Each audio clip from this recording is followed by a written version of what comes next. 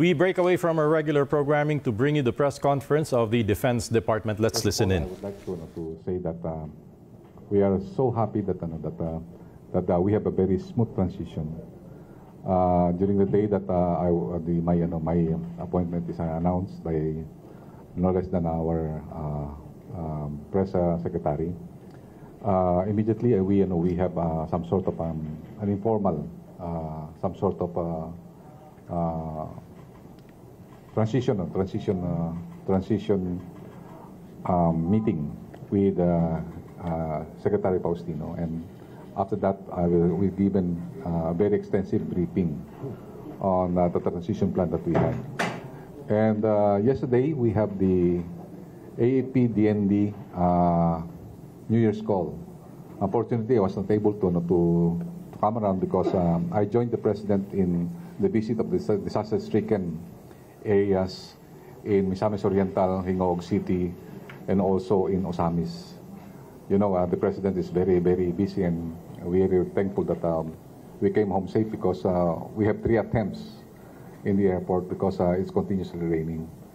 And I would like uh, uh, to thank the president. First of all, I would like to thank the president for the trust and confidence. And I uh, commit myself to be loyal to the, you know, to the, to the uh, mandate of the Armed Forces of the Philippines and the DND in uh, securing the state and protecting our people and also protecting this administration. We would like to announce that um, the AAP and the DND are together to ensure the success of the Marcos administration. Ayun lang po at uh, maraming maraming salamat. I'm happy to be back. Uh, General Centino, sir. Magandang hapon po sa inyong lahat at maraming salamat sa inyong pagpunta. Um, as mentioned by uh, the good secretary, Secretary Galvez, we just had our uh, AFP Command Conference, which I co-presided with the secretary.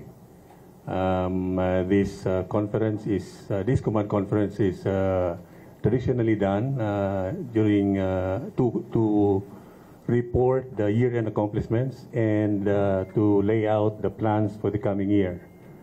Um, uh, the activity was attended by uh, the senior officers uh, based here at the general headquarters and uh, joined also by the uh, major service commanders from the Army, Air Force, and the Navy, and the area commanders all over the country. And we have also the Joint Task Force commanders, component commanders of the Army and Air, uh, Army, Air Force, and the Philippine Navy. Um, uh, during this uh, um, conference that we have, uh, I laid out uh, my guidance. Of course, uh, the secretary also gave out his own guidance to the senior officers, and we made this as to jumpstart what the DND and the armed forces will be doing in the coming year. Um, as mentioned also, uh, yesterday we had the uh, DND AFP uh, New Year's call. Uh, um, this is a tradition that we, of course, we usually do at the start of the year, um, wherein the senior officers from all over the country, eh, officers from the three major services, um, uh, pay a call to the secretary and uh, to the chief of staff. And uh, this was uh, done successfully uh, yesterday. And uh, yes, as mentioned, we had a, smooth transition um, of command, and um, we made sure that activities are not disrupted. That's why um, uh, the activities lined up for the past week, since Monday until today, have been uh, followed. And we're glad that uh, all of these have uh, done with, uh, were done or were, were completed without uh, uh, much uh, disruption. So, again, thank you for coming, and we're ready to answer your questions. Thank you. Thank you very much, General Centino. So with the permission of our principals, we will now start the open forum. Who would like to go first? Yes, first will be Anne and then followed by Karen. Yes, Miss Anne. Sir, um, uh, may mga usapan kasi sir na ang uh, uh, may mga issue na trouble uh, with the, or internal conflict within armed forces of the Philippines. Sir, ito po daw dahil sa uh, batas dati ng uh, Pangulong uh, Duterte. Ano po ba ang katotohanan dito sa mga issue na to? Totoo po ba na itong batas po ay nagsangkip po ng uh, internal conflict within the armed forces. At uh, para po sa inyo, ano po ba yung uh, reaction niyo, sir? Um, nais niyo po bang uh, i-repeal itong batas or uh, amyandahan po? Ano po yung uh, pananaw niyo dito sa pana- uh, nasabing batas, sir? Yeah. Um, yeah, this, there were reports, as you've said. Uh, Republic Act 11709 uh, was passed and implemented last uh, July 1 of la- last year. And uh, as uh, alam mo kung mayroong bagong batas, uh, yung pag-implement nito, uh, meron of course mga, when implementing these, may mga birth pains. I mean, there are usually questions as uh, how this should be implemented. That's why uh, the uh, AFP submitted its recommendations to the Department of National Defense in coming up with the IRR, the implementing rules and regulations uh, to specify how this law will be implemented. Um, perhaps uh, there would uh, be uh, somehow need to improve some more how the implementing rules will be carried out. As I've said, these are birth pains and I'm sure uh, ginawa naman itong batas para sa ikabubuti ng armed forces. No? Uh, I, I would suppose our good legislators uh, uh, made this law for the betterment of the AFP. Yes, please. Sir, yung, yung Senate ay uh, magsasagawa sila ng uh, pagdinig regarding po dito para sa pag-repeal or pag-amyenda ng uh, nasabing batas. Sa posisyon nyo, sir, uh, ano po yung posisyon nyo ngayon? Nais nyo po bang uh, ituloy itong batas or i-repeal itong batas or amyendahan po? Ano po yung stand nyo dito, sir? Kasi may mga nagsusulong po, may mga naghahain ng mga uh, House bills para amyendahan or i-repeal itong uh, fixed terms na batas, sir.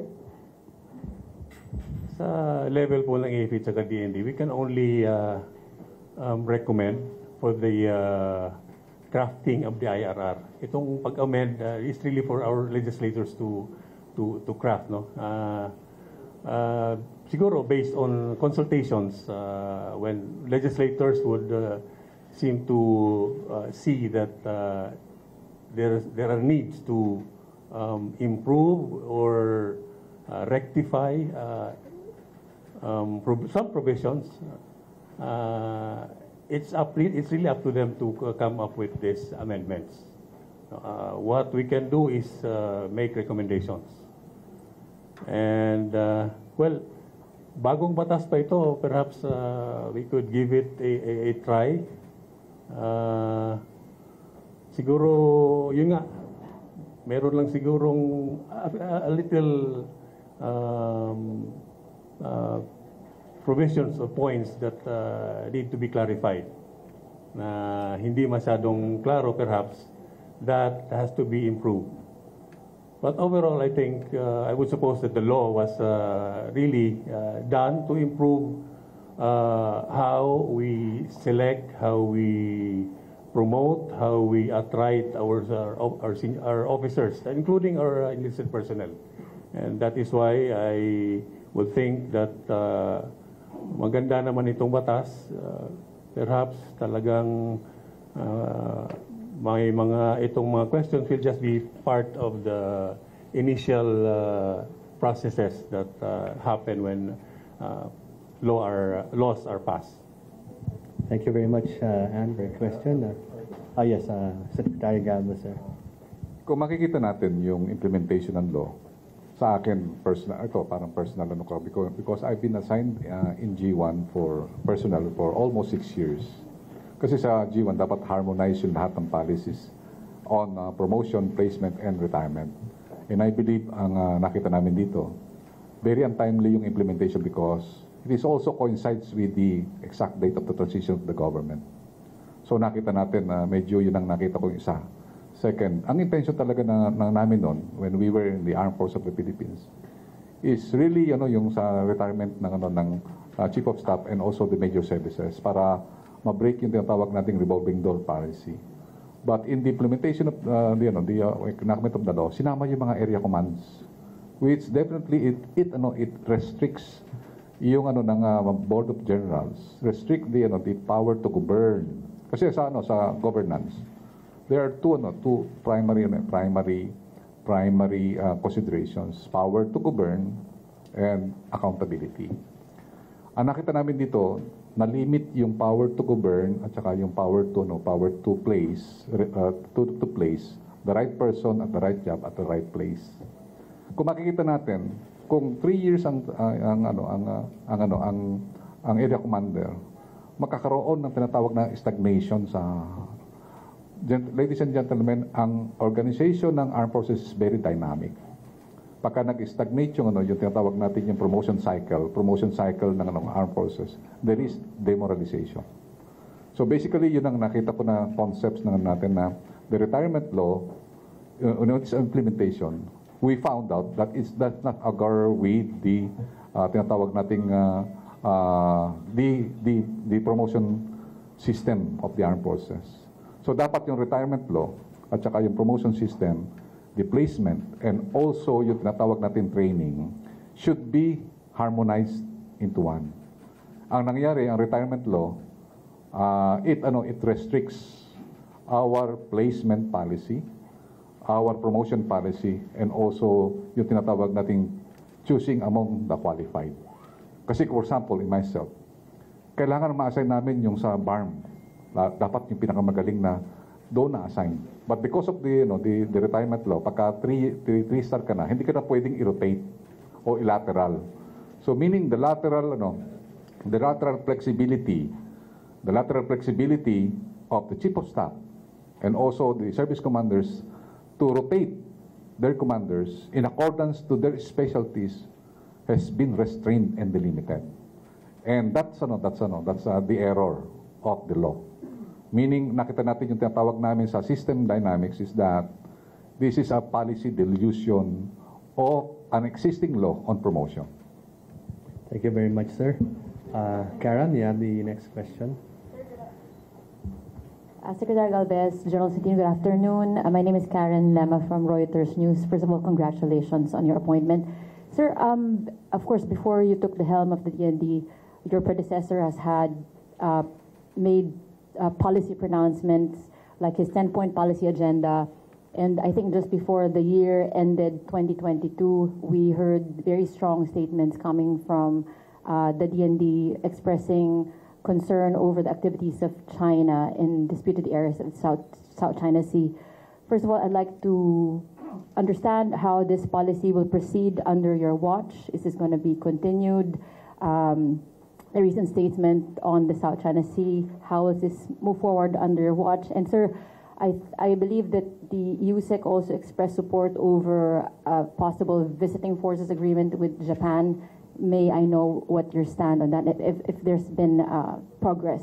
I have been, uh, I've been uh, given the report and uh, also the, you know, the presentation, extensive presentation of the 10-point uh, defense agenda. As I have said earlier, uh, what uh, have been uh, uh, sustained by my predecessors, I will continue. In fact, yung media report, I want to correct the media report. No one from the department has resigned. My policy is everybody will no, will uh, be retained because I have no intention of bringing people because uh, for now uh, I'm I'm ano, I'm holding two two positions as secretary of uh, of OPAP at the same time uh, uh, secretary secretary of national defense. Uh, with the transition that I had, I want to maintain uh, the complete team because I know maganda yung ginawa ni ano eh, ni General Faustino. Uh, the DND has ano tinatawag nating um, a strong DND AEP team. Which really nakita ko yung ano, nakita ko yung mga member ng mga execom natin, mga number one from their classes, yung mga talagang mga performer previously that I knew. And then talagang magagaling yung, ano, yung mga nilagay ni General Faustino. At saka yung mga uh, nahandun na dati na uh, sa Defense Department. And I saw that uh, there is a preparation, prepa- ongoing professionalism.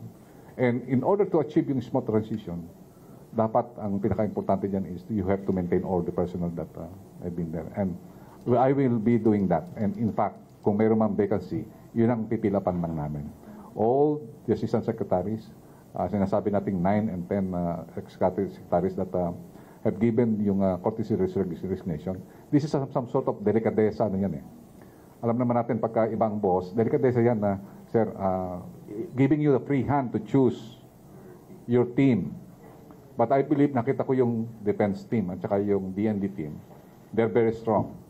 So yung lahat ng policy niya pertaining yung tinatawag nating territorial defense, uh, internal security, and also yung mga tinatawag nating international engagement will continue and we will be father and hands. Yung ating partnership with our partners and also yung ating policy na as much as possible, we will ano, we will ano yung tinatawag nating ano, yung tinatawag nating uh, policy na we are friend to everybody. So yun ang ano po natin and uh, we will continue that. Sir, the VFA, the Japan VFA. Uh, Japan PFA, I believe, uh, nung ano, nung when I was the chief, of staff, kami yung nagano yan na talaga yung ano yung kasi ang tripartite agreement is one of the best ano best uh, agreement that we had. Yung tinatawag nating kami yung pumirma niyan sa ano, TDA ng uh, Malaysia, Indonesia at Philippines. Nakita namin mas maganda yung ano, mas maganda yung tripartite uh, qua- quadripartite agreements or bilateral agreements rather than multi- multilateral, multilateral kasi yung multilateral there are many variables. There are many interests. Mas maganda yung maghanap tayo ng tinatawag nating common interest, shared interest na protecting yung common glo- global commons. Kasi ang ano natin talaga is we shared we shared you know, the you know, the interest of US and also with uh, with Japan on protecting the global commons. Ang nakita natin sa atin, ang pinaka-importante sa common good. When you say global, meaning it is uh, in protecting humanity. Sir, follow-up na lang po, related to the either uh, Secretary Galvez or General Centino. Uh, last year, Secretary, the DFA, uh, when there was a report on the building activities of, of China on four uninhabited uh, features in the Spratlys, the, D- the DFA say they were trying to verify it. I'm just wondering if there's anything specific from the DND or the AFP the verify po ba yun if that's actually happening? Although the Chinese already said that, that described it as fake news. On my end, I need to have uh, an extensive report yet. Kasi uh, just ano, just uh, uh, just been ano, uh, two two two year, two ano, two day old. Uh, and then uh, I would like to ano, to to say that uh, before I comment, I would like to have an extensive uh, briefing first. Thank you. Our next question is uh, Francis and then Victor. Hello, sir. I'm Francis po from The Inquirer. Sir, uh, for General Centino, sir, yung the last five months, if you can uh, share the story, what happened uh, to you, the story behind it, uh, the last five months you were uh, replaced, tapos float, uh, floating, then reappointed, if you can share the story behind it. Yeah. I uh, relinquished command of the AP last August 8. That was uh, about five months ago. And um, I was, uh, my retirement date, my compulsory retirement date was, uh, is on February 4 of this year. So I was still in active service, although I did not have any position. I uh, was just here in uh, Metro Manila, uh, just near the camp, if ever I'll uh, be called, because I'm still subject to military uh, law, of course. So I have to be ma- make myself available. So there were some uh, activities I had, had to attend as um, social functions. Uh, basically, as a as an active military officer, and yes, just last week I was uh, called by Malacanang to take my oath of office, uh, and that was actually last Friday. And the following day we had this uh, change of command, and I took over from uh, Lieutenant General Bakar. Yes, sir. Sir, meron po bang explanation why you were, reapp- may explanation yung Malacanang sa inyo, why you were reappointed? And um, clarify ba nila if three-year term ka daw, sir? Uh, well, the reason for you know, it's re- it really have to be uh, um, the decision of the president to appoint or terminate uh, the designation of the chief of staff. So it it's really uh, as soldiers, we just have to abide. Uh, when I when I uh, was uh, when I uh, relinquished command of the AFP last uh, uh, last year, I accepted the order of the president and uh, waited out for my retirement.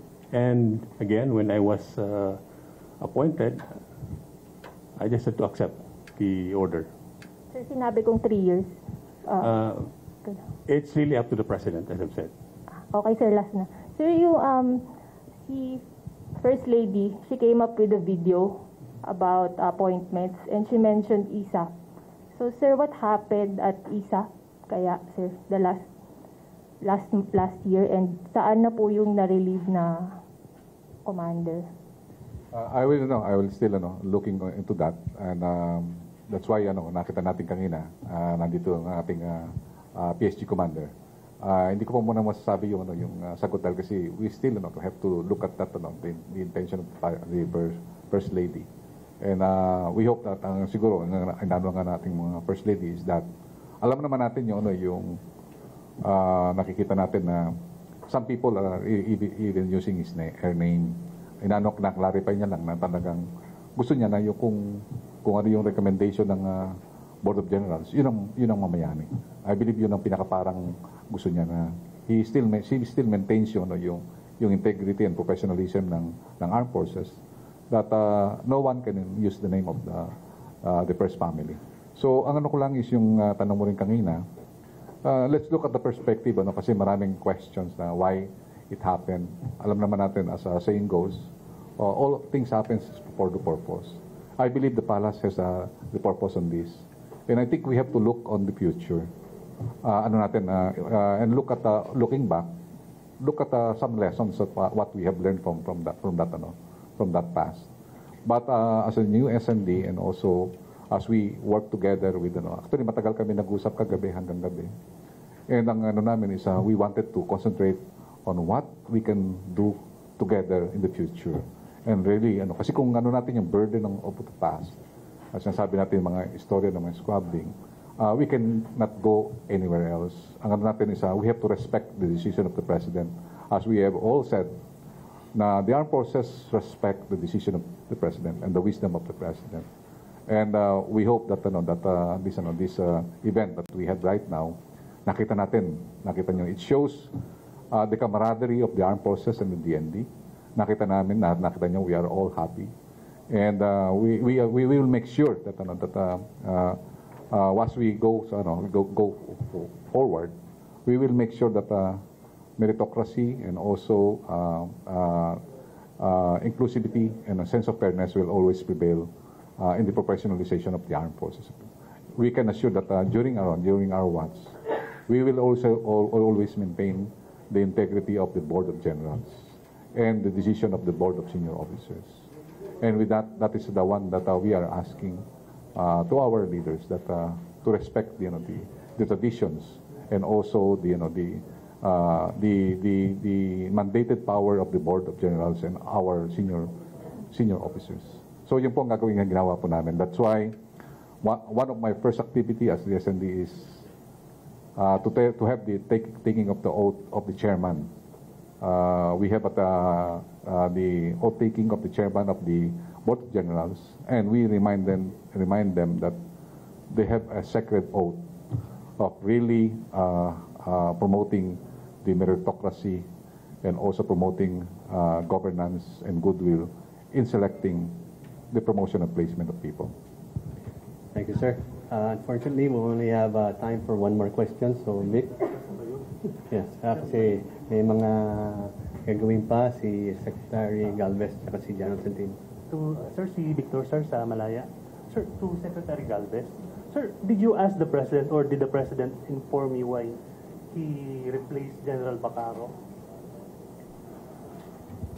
Actually, ano, hindi hindi hindi po ako na. Ang ano niya lang sa akin is uh, nung when we ano, when we went to his uh, residence, he asked me, "Are you ready to ano to take uh, uh, to take the post. And I said yes. It's a very short, no, and uh, I'm very happy that uh, the, the president has uh, confidence on really uh, designating me as the, the, know, the Secretary of National Defense. So yung ano, yung uh, about yung ano, yung about yung what happened to General Bacaro, I'm not privy on that ano. Because uh, it is a it is a a, a, a, a you know, a uh, policy decision. Sir, ano, uh, sir, what do you say dun sa uh, supposed unrest uh, following I believe nakita nyo naman kanina, uh, there is no truth on the unrest. Maybe mayroong tinatawag tayo na some, ano, some tinatawag nating some, ano, some, ano, some uh, valid, ano, valid issues. But we are resolving it now. Uh, isa doon yung tinatawag natin ano, yung some, ano, some delays on the promotion. But uh, yesterday, I told to the President, sir, uh, is it okay that uh, we can submit immediately the, ano, the promotion, the delayed promotions for you? And he was said, uh, even even during ano, during uh, Saturdays or Sunday, you can give it to me. So ang ano namin ngayon is to fast track yung, ano, yung mga some, ano, some remaining promotions and also uh, the uh, deployments of uh, the different commanders, assignment of different commanders. And uh, that's why I, I'm asking the, the Board of Generals to do overtime even during the weekend. Because uh, the, you know, the, during the promotion, uh, we need to, know, to, to, to be in mind that uh, Congress will be, you know, will be convening on, uh, on January 16. So we have to finish the, you know, the, you know, the, the, the, you know, the, the submission of the Board of Generals. Sir, last sir, baka may instruction si Presidente sa inyong dalawa going forward. Ang ano natin, ang uh, instruction naman ng ating mahal na presidente is uh, to, ano, to keep uh, our, ano, our focus intact. Kasi ang natin natin, yung focus natin is really to, dalawang major focus natin eh. One is yung to maintain the integrity of our country. And second is to, to eliminate already the uh, different, ano, different insurgencies that we have. And uh, second, uh, he has given already the order to the to the armed forces of the Philippines, and it's very uh, very fort- I'm very fortunate that uh, I came from a, from a peace peace process perspective, and he said actually nung sa totoo lang medyo hesitant nung una si Presidente dahil kasi who will man the OPAPRO? Yan ang first question niya. Kasi nakita niya maganda yung gains na natin eh. And in fact, sabi, sabi nga namin is mas maganda sir kasi mamemeri natin yun. No? Because uh, his guidance during his sa second ID is that the military should refocus now its mission on supporting the peace process. And that's one of our guidance. To harmonize our mission, one of our core mission now of the armed forces is supporting the peace process to succeed. And that is our commitment. And uh, we would like to, no, to convey to the President that uh, the Armed Forces of the Philippines and uh, uh, the DND department is intact. And we are now uh, uh, looking forward on the trust goal and guidelines that we have to accomplish for 2023 and beyond. Maraming salamat po. Uh, With that, uh, we'd like to thank our uh, principals, uh, Secretary-designate uh, Carlito Galvez Jr. and uh, AFP Chief of Staff General Andres Centino for their time. And we'd also like to thank you, our media friends, for uh, being so patient and uh, uh, waiting with us. So uh, thank you very much, everyone. Uh, Sirs, thank you so much. All right, uh, we just listened in to a press conference uh, by the Department of National Defense and uh, the AFP with uh, Philippine Defense Secretary Carlito Galvez Jr. and General Andres Centino addressing issues surrounding Republic Act 11709, among others. Uh, they both said that it was signed into law under President Duterte last year, mandating a fixed three-year term on the tour of duty of the AFP Chief of Staff, unless terminated sooner by the President. Now, Centino sees the need for the AFP to ensure that the implementing rules and regulations for that law is in order to implement the law and correct, correctly uh, put it through and judiciously implement RA 11709. Now, uh, he also pointed out the inclusion of other officials in the mandate, which may give rise to uh, governing issues and upset the existing promotion mechanism at the Armed Forces of the Philippines, which may cause demoralization. But he reiterates, uh, he also said that they are working on this. Both the DND and the AFP will remain loyal in ensuring the success of the Marcos administration. Now, both officials also said they attended a command conference of renewing the past year's accomplishments and uh, setting directions for 2023, ensuring all defense and AFP activities are uninterrupted.